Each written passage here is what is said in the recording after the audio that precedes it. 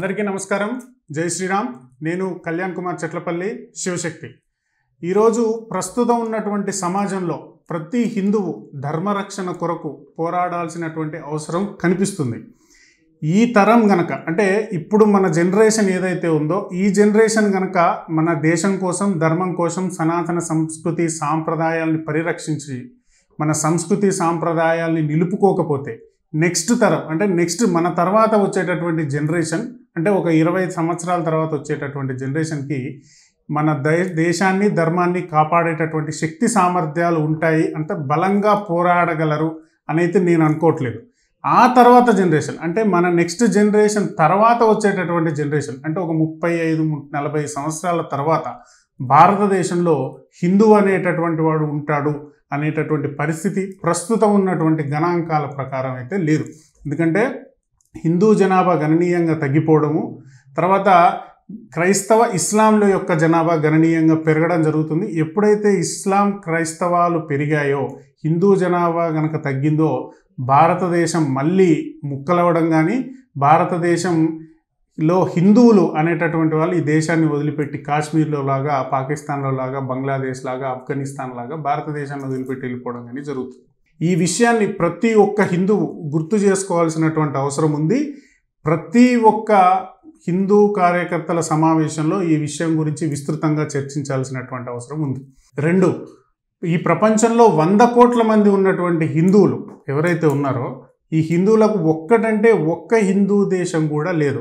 ప్రపంచంలో పదుల సంఖ్యలో ఇస్లామిక్ కంట్రీస్ ఉన్నాయి క్రిస్టియన్ కంట్రీస్ ఉన్నాయి బుద్ధిస్ట్ కంట్రీస్ ఉన్నాయి. కానీ మెజారిటీ వంద కోట్ల మంది సుమారుగా ఉన్నటువంటి హిందువులకు మాత్రం ఒక్కటంటే ఒక్క కంట్రీ కూడా లేదు. మొన్నటి వరకు ఉన్నటువంటి ఈ నేపాల్ కంట్రీ ఏదైతే ఉందో కాంగ్రెస్ గవర్నమెంట్లో హిందూ దేశంగా ఉన్నటువంటి భారతదేశం సెక్యులర్ గవర్నమెంట్ అయింది. కమ్యూనిస్ట్ ప్రభుత్వం ఆధ్వర్యంలో ఉన్నటువంటి నేపాల్ కంట్రీ కూడా సెక్యులర్ కంట్రీగా మారిపోయింది. ఇక ఈ ప్రపంచంలో హిందువులకు పారిపోవడానికి కూడా వేరే దేశం లేదు. ఆఫ్ఘనిస్తాన్ నుంచి తరిమేస్తే పాకిస్తాన్కి వచ్చారు హిందువులు పాకిస్తాన్ నుంచి తరిమేస్తే భారత్కి వచ్చారు. కానీ భారత్ నుంచి హిందువుల్ని తరిమేస్తే కనుక హిందువులకు ఇంకో దేశం అంటూ లేదు. ఈ విషయం కూడా ప్రతి హిందువు గుర్తుపెట్టుకోవాలి. స్వతంత్రానంతరం భారతదేశంలో హిందువుల సంఖ్య గణనీయంగా తగ్గడానికి అంటే తొంభై తొంభై ఐదు శాతం ఉన్నటువంటి హిందువులు ఇప్పుడు అరవై అరవై ఐదు గట్టిగా లెక్కలు తీస్తే అరవై అరవై ఐదు డెబ్బై శాతం కూడా లేరు. భారతదేశంలో హిందువుల సంఖ్య ఇంత గణనీయంగా తగ్గడానికి కారణం రెండు అతి ముఖ్యమైనటువంటి సమస్యలు. ఒకటి క్రైస్తవ మత మార్పిళ్ళు రెండు లవ్ జిహాద్. క్రిస్టియన్ మత మార్పిళ్ళ వల్ల హిందువుల సంఖ్య ఒకరు తగ్గడమే కాకుండా క్రైస్తవుల తరపున ఒక సంఖ్య పెరగడమే కాకుండా హిందువుకి ఒక శత్రువు కూడా తయారవుతాడు అని స్వామి వివేకానంద గారు కూడా చెప్పడం జరిగింది. రెండోది లవ్ జిహాద్. లవ్ జిహాద్ వల్ల హిందూ అమ్మాయి ఒక వ్యక్తి తగ్గడమే కాకుండా హిందువుల సంఖ్య ఒకటి తగ్గడమే కాకుండా ఇస్లాం మతంలో ఉన్నటువంటి వాళ్ళు ఆ అమ్మాయికి ఒక ఇద్దరు కానీ ముగ్గురు కానీ నలుగురు కానీ పిల్లలు పుడితే వాళ్ళ సంఖ్య డబుల్ ట్రిబుల్ నాలుగు రెట్లుగా పెరిగేటటువంటి వ్యవస్థ లవ్ జిహాద్ వల్ల ఉంది.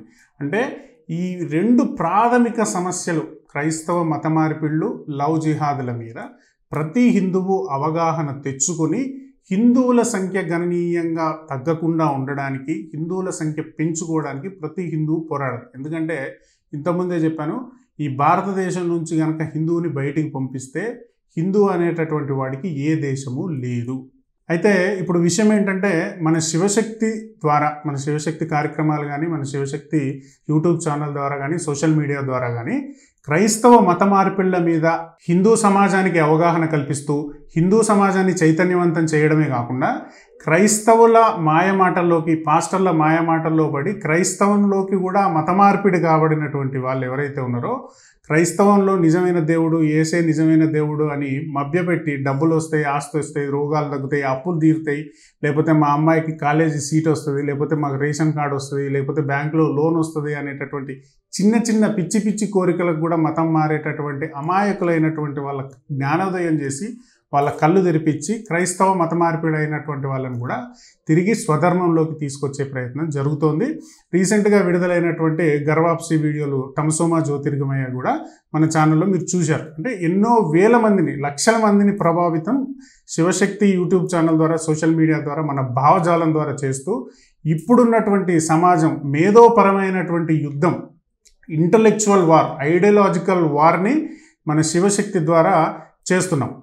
ఇంతేకాకుండా సమాజంలో సామాజిక అంశాలు అంటే గ్రౌండ్ లెవెల్లో క్షేత్రస్థాయిలో హిందూ ధర్మం మీద జరిగేటటువంటి దాడి ఏదైతే ఉందో దాన్ని కూడా క్షేత్రస్థాయి కార్యక్రమాల ద్వారా సభల ద్వారా సమావేశాల ద్వారా లీగల్ ఫైట్స్ ద్వారా లేకపోతే మనం ఇచ్చేటటువంటి కంప్లైంట్ల ద్వారా పోరాటం చేస్తూ మన హిందుత్వం మీద జరిగేటటువంటి దాడిని కానీ తిప్పుకొట్టడం జరుగుతుంది. ఈరోజు నేను చేస్తున్నటువంటి ఈ వీడియో యొక్క ముఖ్య ఉద్దేశం ఏంటంటే శివశక్తి చేస్తున్నటువంటి క్షేత్రస్థాయి అంటే గ్రౌండ్ లెవెల్ యాక్టివిటీస్ ఏవైతే ఉన్నాయో క్షేత్రస్థాయి కార్యక్రమాలు ఏవైతే ఉన్నాయో వాటిని యూట్యూబ్ ద్వారా సామాన్య హిందువులకి తర్వాత యూట్యూబ్లో ఉన్నటువంటి వాళ్ళందరికీ పరిచయం చేయడమే కాకుండా అన్నిటికంటే ముఖ్యమైనటువంటి విషయం ఏంటంటే బయట మీడియా ద్వారా కానీ లేకపోతే సోషల్ మీడియాలో కానీ బయట మీడియాలో కానీ ఎక్కువ ప్రజాదరణ పొందనివి ఎక్కువ హైలైట్ కానీ వైరల్ కానటువంటి సమస్యలు అంటే సామాజికంగా అంటే గ్రామాల్లో కానీ పట్టణాల్లో కానీ చిన్న చిన్న ఊర్లలో కానీ ఉన్నటువంటి సామాజిక సమస్యలు ఏవైతే ఉన్నాయో వాటిని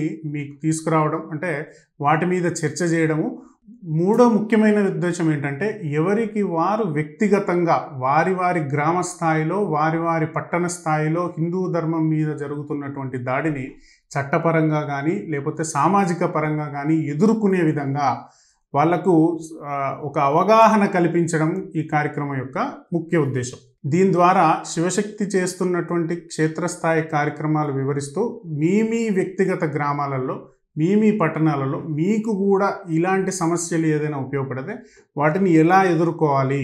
వాటిని ఎదుర్కో అన్ని సందర్భాలలో మేము రావడం కానీ వేరే వాళ్ళే వచ్చి మన సమస్యలు పరిష్కరించాలి అనేటటువంటి విధానం సాధ్యం అవ్వకపోవచ్చు. కాబట్టి వ్యక్తిగతంగా ఎవరికి వాళ్ళు వాళ్ళ గ్రామ స్థాయిలో వాళ్ళ పట్టణ స్థాయిలో వాళ్ళ సమస్యల మీద వాళ్ళ మన హిందూ ధర్మం మీద జరుగుతున్నటువంటి దాడి మీద ఎదుర్కొని పోరాడాల్సిన అవసరం ఉంది కాబట్టి ఈ కార్యక్రమం వచ్చేటటువంటి అన్ని గనక చూస్తే మీకు ప్రతి దాని మీద సామాజికంగా హిందూ సమాజం మీద క్షేత్రస్థాయిలో జరుగుతున్న దాడి అర్థమవుతుంది. దాన్ని మనం ఎలా ఎదుర్కోవాలో కూడా తెలుస్తుంది కాబట్టి ప్రతి ఒక్కరూ ఈ వీడియో మొత్తం చూడాలని కోరుకుంటున్నాను. ఈ నెల జూలై ఆరో తారీఖు కడప జిల్లాలోని పొద్దుటూరులో టిప్పు సుల్తాన్ విగ్రహాన్ని ప్రతిష్ఠించాలని చెప్పి పొద్దుటూరులో ఉన్నటువంటి స్థానిక ఎమ్మెల్యే శివప్రసాద్ రెడ్డి కొంతమంది ముస్లింల ఒత్తిడి మేరకు టిప్పు సుల్తాన్ విగ్రహం అక్కడ ప్రతిష్ఠించాలని పోయిన నెల జూన్లో శంకుస్థాపన కూడా చేశారు. దీనికి సంబంధించి కలెక్టర్కి కానీ తర్వాత మున్సిపల్ కమిషనర్కి తర్వాత ఎస్పీకి జిల్లా ఎస్పీకి నరరూప రాక్షసుడు ఎంతోమంది హిందూ స్త్రీలను మానభంగం చేసినటువంటి వాడు అత్యాచారాలు చేసినటువంటి వాడు హిందువుల ఊచకోత కోసినటువంటి దుర్మార్గుడు క్రూరుడు అయినటువంటి టిప్పు సుల్తాన్ విగ్రహం పెట్టకూడదు. పొద్దుటూరులో ఏ ఎట్టి పరిస్థితుల్లో టిప్పు సుల్తాన్ విగ్రహం పెట్టడానికి వీల్లేదు అని జూన్ నెలలో ఎస్పీకి మున్సిపల్ కమిషనర్కి కలెక్టర్కి శివశక్తి తరపున పుల్లారెడ్డి గారి ఆధ్వర్యంలో కంప్లైంట్ ఇవ్వడం జరిగింది. ఈ నెల జూలై ఆరో తారీఖు ఎమ్మెల్సీ రమేష్ యాదవ్ గారికి కూడా స్థానిక హిందూ సంస్థల నాయకులతో కలిసి పుల్లారెడ్డి గారు శివశక్తి తరపున కూడా వినతిపత్రం అందించడం జరిగింది. ఇది మనం వ్యతిరేకించాల్సినటువంటి విషయం. ఇక్కడ టిప్పు సుల్తాన్ గురించి ఒక రెండు చిన్న విషయాలు చెప్తాను. చెప్పుకోవడానికి టిప్పు సుల్తాన్ అంత దుర్మార్గుడు ఎవరు లేడు ఒక పేజీలు పేజీలు గంటలు గంటలు ఉపన్యాసం చెప్పేంత దుర్మార్గుడైనటువంటి టిప్పు సుల్తాన్ గురించి రెండే ముఖ్యమైనటువంటి విషయాలు చరిత్ర చెప్తున్నటువంటి సాక్ష్యాలు చెప్తాను. కర్ణాటక మేల్కోటే ప్రాంతంలో మైసూరు దగ్గర ఉన్నటువంటి మేల్కోటే ప్రాంతంలో నరక చతుర్దశి రోజు పంతో పదిహేడు వందల తొంభైవ సంవత్సరం నరక చతుర్దశి రోజు దేవాలయం లోపలికి వెళ్ళి దేవాలయం తలుపులు మూసేసి ఎనిమిది వందల మంది హిందువులను చంపేసి రెండు వందల మంది హిందూ స్త్రీలను వాళ్ళ సైన్యానికి అప్పజెప్పి దేవాలయాన్ని ధ్వంసం చేసి దోచుకుపోయినటువంటి వాడు టిప్పు సుల్తాన్. ఇది టిప్పు సుల్తాన్ గాడి చరిత్ర. ఇప్పటికీ దాని సాక్ష్యం ఏంటంటే దాని తెల్లారి అంటే నరక చతుర్దశి రోజు తెల్లవారుజామున దీపావళి రోజు అదే మేల్కోటే ప్రాంతంలో ఎనిమిది వందల మంది అయ్యంగార్ బ్రాహ్మణుని ఊచకోత కోసినటువంటి చరిత్ర టిప్పు సుల్తాన్ది ఆ బ్రాహ్మణ్ ఫ్యామిలీకే చెందినటువంటి తమిళనాడు మాజీ ముఖ్యమంత్రి జయలలిత వాళ్ళ వంశస్థులు కానీ భరద్వాజ గోత్రానికి అయ్యంగార్ ఫ్యామిలీకి మేల్కోటే ప్రాంతంలో ఉన్నటువంటి వాళ్ళు ఇప్పటికీ ఆ కీడుకి ఆ జరిగినటువంటి చెడు వలన ఇప్పటికీ వాళ్ళు దీపావళి పండుగ జరుపుకోరు. జయలలిత కూడా ఎప్పుడూ దీపావళి పండుగను జరుపుకోలేదు. ఇది చరిత్ర. అలాంటి దుర్మార్గుడిని అంత పెద్ద రాక్షసుడికి విగ్రహం పెట్టాలని ముస్లిం మైనారిటీ సంక్షేమం కోసం చేయాల్సినటువంటి డబ్బులు తీసుకెళ్ళి ఇట్లా విగ్రహాల మీద పెట్టి ముస్లింలను మభ్యపెట్టి వాళ్ళ మెప్పు పొంది వాళ్ళ ఓట్లు సంపాదించాలని వైసీపీ ప్రభుత్వంలో ఉన్నటువంటి ఎమ్మెల్యే ప్రయత్నించడం సిగ్గుచేటు ఇది హిందువులందరికీ పొద్దుటూరులో ఉన్నటువంటి హిందువులందరికీ అవమానకరమైనటువంటి విషయం. దీన్ని మన శివశక్తి తరఫున తీవ్రంగా వ్యతిరేకించడం ఎస్పీకి కలెక్టర్కి అందరికీ కంప్లైంట్ ఇవ్వడం దాని మీద ఫైట్ చేయడం జరుగుతుంది. చాలామంది దీన్ని వ్యతిరేకించారు బీజేపీ ఆధ్వర్యంలో కూడా దీని మీద చాలా భారీ ఎత్తున పోరాటం జరిగింది. ఇది ఒక అంశం.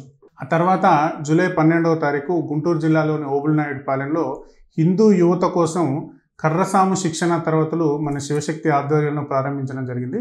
ఇంతకుముందే సోషల్ మీడియాలో కానీ చాలామందికి తెలుసు గుంటూరు జిల్లాలో ఉన్నటువంటి హిందూ కార్యకర్తలకు. శివశక్తి ఆధ్వర్యంలో శివశక్తి హనుమాన్ వ్యాయామశాల గుంటూరు జిల్లాలో ప్రారంభించడం జరిగింది. దాని ద్వారా కర్రసాము నేర్పించడం కానీ తర్వాత వ్యాయామం చిన్న చిన్న పిల్లలకి నెక్స్ట్ జనరేషన్కి వ్యాయామం నేర్పించడం కానీ మన శివశక్తి వ్యాయామశాల ద్వారా జరిగినాయి కార్యక్రమాలు. అయితే కరోనా కారణంగా కొంతకాలం కర్రసామికి ఉన్న వ్యాయామశాలకి సెలవు ఇచ్చాము మళ్ళీ రీసెంట్గా ఓబులవాణి పాలెంలో స్టార్ట్ చేయడం జరిగింది. ఇది జూలై జూలై పన్నెండవ తారీఖు గుంటూరులో జరిగిన కార్యక్రమం. దాని తర్వాత జూలై పన్నెండవ తారీఖు కడప జిల్లాలో రైల్వే కోలూరు మండలంలో ఈ బక్రీద్ సందర్భంగా ఇది నిజంగా మన హిందువుల యొక్క దౌర్భాగ్య స్థితికి సంకేతం. బక్రీద్ సందర్భంగా మేము పూజించేటటువంటి మా ఆవుని కోసుకొని తినకుండా మీరు చర్యలు తీసుకోండి అని ఎంఆర్ఓ గారికి సిఏ గారికి వినతి పత్రాలు అందించడం జరిగింది. మన శివశక్తి ఆధ్వర్యం స్థానిక హిందూ సంస్థ నాయకుల యొక్క సపోర్ట్తోని మన కార్యకర్తలు వెళ్ళి ఎంఆర్ఓ గారికి సిఏ గారికి వినతి పత్రం అందించడం జరిగింది పన్నెండో తారీఖు.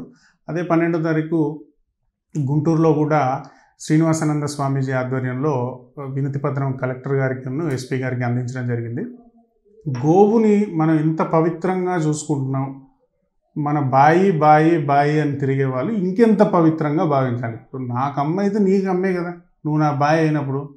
నా నా బామ్మరిది అయితే నీకు అమ్మ కాదు నా బాయ్ అయినప్పుడు నీకు అమ్మే కదా. అంటే బా బాయ్ కాదని అర్థం చేసుకోవాలా. దాన్ని కూడా కాపాడండి. మా గోమాతను మీరు రక్షించండి. మేము పవిత్రంగా చూసుకుంటున్నాం. కొన్ని వేల సంవత్సరాలుగా దాన్ని మేము ఆరాధిస్తున్నాం. వాటిని అన్యాక్రాంతం కాకుండా చూడండి. వాటిని వధించకుండా చూడండి. వాటిని అక్రమ రవాణా చేయకుండా చూడండి. అని హిందువులు ఇంకా అడుక్కునే స్థితిలో ఉండడానికి మన పాలకులు కానీ మన హిందూ సమాజంలో యూనిటీ లేకపోవడం కానీ ఒక కారణం.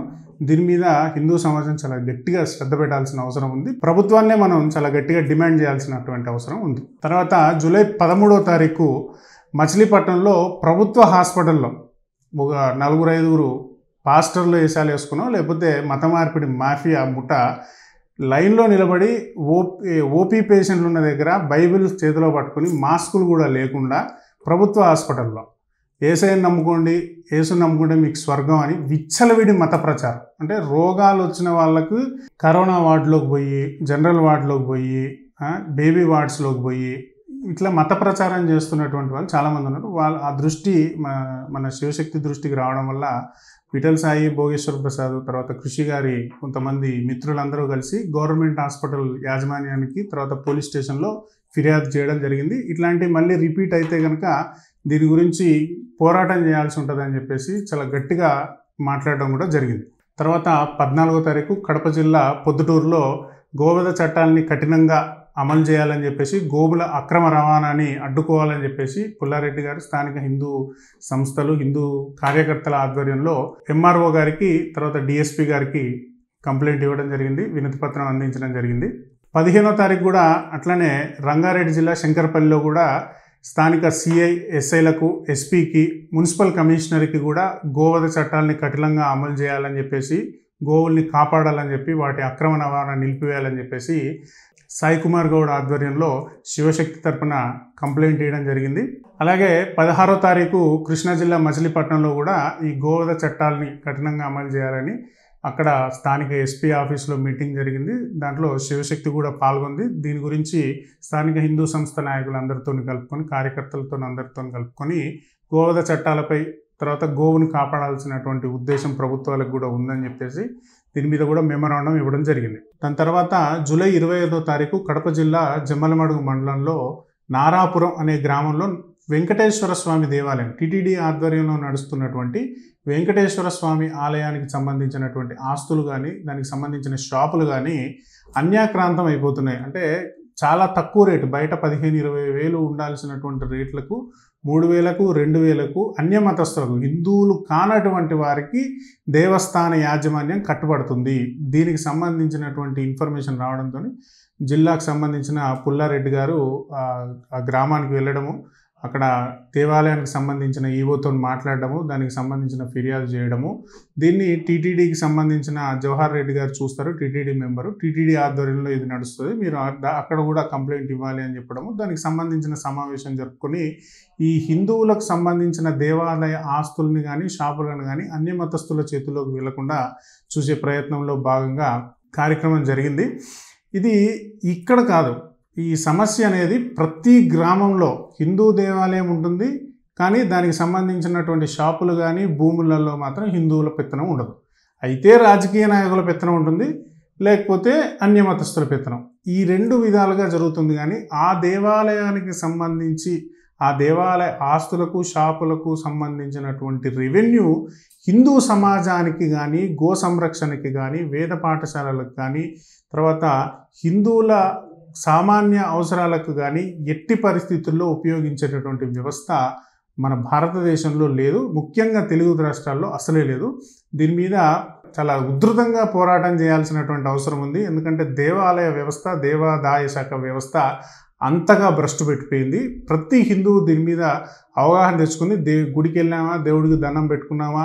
మనం దండం పెట్టుకుంటే మనకు కోటి రూపాయలు వచ్చేసాయా అప్పులు తీరాయా మనం మొక్కులు తీర్చుకున్నామా? దేవుడు దేవుడిని దేవుడే చూసుకుంటాడు మనది మనమే చూసుకుందాము మనల్ని కూడా దేవుడే చూసుకుంటాడు అనేటటువంటి ధోరణి నుంచి మన ధర్మాన్ని మన అస్తిత్వాన్ని కాపాడుకోవాల్సినటువంటి అవసరం ఉంది. ఇట్లాంటి సమస్యలు కూడా మీ దృష్టికి వస్తే దాన్ని ఉన్నతాధికారులకు చెప్పడం కానీ చుట్టూ ఉన్నటువంటి సమాజాన్ని సమీకరించి దాని మీద పోరాటం చేయడం కానీ చేయాలని చెప్పేసి కోరుకుంటున్నాను. దాని తర్వాత ఇరవై ఆరో తారీఖు తెనాలిలో స్థానిక శివశక్తి కార్యకర్తలు ఎవరైతే ఉన్నారో వాళ్ళందరితో ఆఫ్టర్ కోవిడ్ కరోనా కారణంగా కొన్ని కార్యక్రమాలు నిలిచిపోయినాయి. దాన్ని మళ్ళీ ఏ విధంగా అయితే క్షేత్రస్థాయిలో కార్యక్రమాల్ని విస్తృతం చేయాలనే ఉద్దేశంతో తర్వాత కేవి సుబ్బారావు ఆధ్వర్యంలో తెనాలిలో కూడా శివశక్తి స్థానిక సమావేశం నిర్వహించడం జరిగింది ఇరవై ఆరో తారీఖు. ఇరవై తొమ్మిదో తారీఖు చిన్న ఇన్ఫర్మేషన్ వచ్చింది నాకే ఫోన్ వచ్చింది. గుంటూరు జిల్లా మాచర్ల మండలం జమ్మలమడక అనే గ్రామం ఉందంట. జ జమ్మలమడక అనే గ్రామంలో ప్రభుత్వం జగన్ ప్రభుత్వం ఏదైతే పేదలకు స్థలాలు ఇచ్చిందో ఆ స్థలాల పక్కన ముప్పై సెంట్ల స్థలం ఏదైతే ఉందో ఖాళీగా ఉన్నటువంటి స్థలము ఆ స్థలాన్ని మసీదుకు సంబంధించినటువంటి వాళ్ళు ఆక్రమించుకుని అక్కడ మసీదు కట్టాలి అని ప్రపోజల్ చేసి గ్రామ సభలో తీర్మానం చేసి పంచాయతీ సెక్రటరీకి ఒప్పించి అంటే లంచం ఇస్తారు అంతకు మించి ఇంకేం లేదు. ఎంఆర్ఓ దగ్గర పర్మిషన్ తెచ్చుకున్నారు. కానీ మసీదుకు చర్చిలు కట్టడానికి కావాల్సినటువంటి పర్మిషన్ ఇవ్వాల్సింది కలెక్టర్. ఏవి ఈ ఈ ఎంఆర్ఓలు వీళ్ళు లంచాలు తీసుకొని గవర్నమెంట్ ప్లేస్ ఎక్కడ ఉంటే అక్కడ లక్ష రెండు లక్షలు మూడు లక్షలు తీసేసుకుని అక్రమంగా ఎక్కడ పడితే అక్కడ అడ్డదిడ్డంగా చర్చిలు మసీదులు కట్టేసేసి దాని ద్వారా మళ్ళీ చుట్టుపక్కల ఉన్నటువంటి వాళ్ళకు డిస్టర్బెన్సు దాని ద్వారా హిందువులను మళ్ళీ మత మార్పిడి చేయడం. ఇట్లా జమ్మలమడక గ్రామంలో కూడా ప్రభుత్వ స్థలాన్ని ఆక్రమించి మసీదు కట్టడానికి ప్రయత్నం చేస్తుంటే గ్రామస్తులు ఫోన్ చేయడం జరిగింది. దానికి సంబంధించిన కంప్లైంట్ ఇవ్వడం వాళ్ళందరితో సంతకాలు ఒక వంద మందితో సంతకాలు పెట్టించి ఎంఆర్ఓకి కంప్లైంట్ ఇప్పించడం జరిగింది. ఇది నిన్న ఇరవై తొమ్మిదో తారీఖు జరిగినటువంటి విషయం. అలాగే నిన్న ముప్పై తారీఖు శివశక్తి ఆధ్వర్యంలో కడప జిల్లా నాగపురం అనేటటువంటి గ్రామంలో ధర్మ ప్రచారంలో భాగంగా స్థానిక యువతతోని సమావేశం పెట్టి వాళ్ళకు మన ధర్మం గురించి దేశం గురించి మన మీద జరుగుతున్నటువంటి దాడి గురించి మనం హిందూ ధర్మాన్ని ఎందుకు రక్షించుకోవాలి అనేటటువంటి విషయం గురించి వెంకట శివ మన పూర్తి సమయ కార్యకర్త ఆధ్వర్యంలో సమావేశం ఏర్పాటు చేయడం జరిగింది. ఇట్లా కాకుండా చాలా ఏరియాలలో అంటే కరోనా కారణంగా ఈ మధ్య స్థానిక సమావేశాలు కొంచెం అంటే కొన్ని ఆంక్షల వల్ల తక్కువ అవుతున్నాయి కానీ ఇంతకుముందు విస్తృతంగా గ్రామ స్థాయిలలో చాలా సమావేశాలు అవన్నీ జరిగేవి. ఇప్పుడు కొంచెం కరోనా తగ్గిన తర్వాత మళ్ళీ ఆ కార్యక్రమాల్ని మొదలుపెట్టడం జరిగింది. ఇదే కాకుండా ఇంకా ఈ కార్యక్రమాల్ని విస్తృతం చేయడానికి పూర్తి సమయ కార్యకర్తలు ఉన్న ఇంకొంతమందిని తీసుకొని గ్రామ స్థాయిలో పట్టణ స్థాయిలో శివశక్తికి సంబంధించినటువంటి భావజాలాన్ని హిందూ సమాజానికి సంబంధించినటువంటి విషయాన్ని అందరికీ చేరవేసేలాగా ప్రయత్నము శివశక్తి ఆధ్వర్యంలో జరుగుతోంది. అయితే ఇది ఏ ఒక్కరో చేయవలసినటువంటి కార్యక్రమం కాదు. ఇది ప్రతి ఒక్కరూ తమ తమ స్థాయిలో వ్యక్తిగత స్థాయిలో మన ధర్మాన్ని మనం రక్షించుకోవాలి. మన సంస్కృతి సాంప్రదాయాన్ని మనం రక్షించుకోవాలి. మన హిందుత్వం మీద జరిగేటటువంటి దాడిని తిప్పికొట్టాలని ఏ ప్రతి వ్యక్తి తన మనసులో సంకల్పం తీసుకుని ఈ తరం పనిచేయాల్సినటువంటి అవసరం ఖచ్చితంగా ఉంది. ఈ తరం కనుక అంటే ఈ జనరేషన్ కనుక పనిచేయకపోతే ఇంతకుముందు చెప్పినట్టుగా నెక్స్ట్ జనరేషన్కి పనిచేసేటటువంటి శక్తి సామర్థ్యాలు ఉండవు. ఆ తర్వాత ఆ జనరేషన్ తర్వాత వచ్చేటటువంటి మూడో జనరేషన్ మాత్రం హిందువులు ఉంటారు అనేటటువంటి నమ్మకం అయితే నాకు మాత్రం లేదు. ఈ కార్యక్రమం ద్వారా ప్రతీ నెల శివశక్తి చేస్తున్నటువంటి క్షేత్రస్థాయి కార్యక్రమాలు కానీ వాటిని చట్టపరంగా క్షేత్రస్థాయిలో సామాజికంగా హిందుత్వం మీద హిందూ సమాజం మీద దేవాలయాల మీద ధర్మం మీద జరిగేటటువంటి దాడి ఏదైతే ఉందో దాన్ని చట్టపరంగా ఎలా ఎదుర్కోవాలి సామాజికంగా కలిసికట్టుగా ఏ విధంగా ఎదుర్కోవాలి అనేటటువంటి విషయాల మీద అవగాహన కల్పిస్తూ ప్రతి నెల శివశక్తి క్షేత్రస్థాయి కార్యక్రమాల పేరు మీద ఈ ఇలాంటి ఒక వీడియో చేస్తాను. ఖచ్చితంగా ప్రతి హిందువు ఇప్పుడు నేను చెప్పినటువంటి విషయాలు అంటే బయట సమాజంలో ఎక్కువగా ప్రాచుర్యంలో లేకుండా హిందూ సమాజం మీద జరుగుతున్నటువంటి చిన్న చిన్న స్థాయిలో జరుగుతున్నటువంటి దాడులను కూడా గుర్తుపెట్టుకొని వాటిని మీకు అందిస్తాను. మీరు కూడా మీ మీ స్థాయిలలో అంటే వ్యక్తిగత స్థాయి కానీ గ్రామ స్థాయి కానీ పట్టణ స్థాయి కానీ కుటుంబ స్థాయిలో అయినా సరే హిందూ ధర్మ రక్షణ గురించి పోరాటం చేయండి. హిందూ ధర్మ రక్షణ విషయంలో ముందుకు రండి. హిందూ ధర్మం మీద జరుగుతున్నటువంటి దాడుల్ని ఎదుర్కోవడానికి సిద్ధంగా ఉండండి. మీ శక్తికి శివశక్తి తోడవుతుంది. జై శ్రీరామ్.